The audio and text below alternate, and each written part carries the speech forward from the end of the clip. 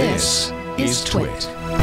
Last year, when we talked, I had asked about the ramifications of not having a voice directly responsible for Windows in the senior leadership team. A year later, it's it seems like there's a lot of change and uncertainty, and not necessarily a lot of good communication around what's happening with Windows, um, especially through the Insider program. I mean, is there any hope for us in the new year that um, uh, there'll be some? Uh, I mean, because obviously there's exciting things. I mean, you know, there's Windows 10X and all that, but and, and but yeah. there are questions around that too. You know, the developer story and so forth. Right. Um, I mean, what's the uh, what's the whole Windows strategy now? I mean, I don't yeah, like great. that, but no, I mean, what's I, I feel like it's just we used to have there used to be like a voice, you know. Yeah. And uh, I feel like we've kind of lost that. No, I, I totally, and I've heard that on, on the show, of course. I would yeah. say um, a, a, couple of things that are worth pointing out. One is we are really investing in the product. And so Windows 10X, right. which we showed on the Surface Neo, uh, we do feel like dual screen is going to be the future for many, many devices. Uh, and so building a Windows 10 that understands uh, two screens in a way that's different than multi-monitor support, you know, the classic Windows right. sort of two-screen thing. But no, no, these are actually two screens that are always there. Uh, what are the UI affordances that you need? Uh, what's the launch model? All, all of those things.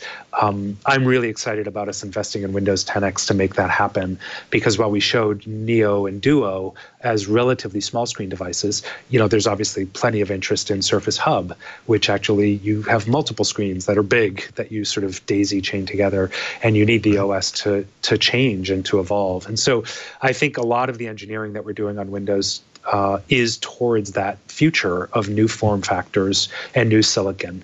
And that you know you could do a full stop on those two and that's thousands and thousands of people to make it happen.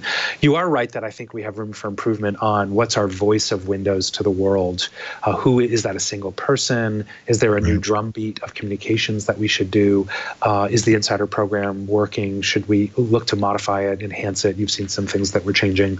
And of course every time we touch it people go absolutely bananas. Mm-hmm. Uh, and so it's like oh, okay I, I guess it wasn't that awful but if we leave it completely alone then it's like well, they're not doing anything to improve it. It's awful. Um, yeah. And and that's that's just no, no. It's not that it's awful. I didn't mean to. I, I no, no. Certainly no, I wasn't putting words in your mouth. I, but yeah.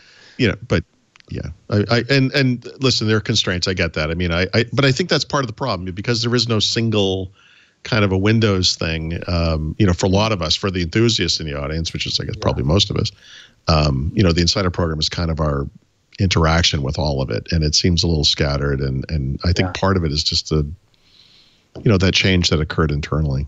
Right, without having Terry, that one person who owned yeah. it all, soup to nuts. I totally get that, and it, it's it's great feedback. We'll we'll continue to look at how do we show up stronger, I guess, and with a with yeah. a more singular voice, um, and continue to try to enhance the insider program.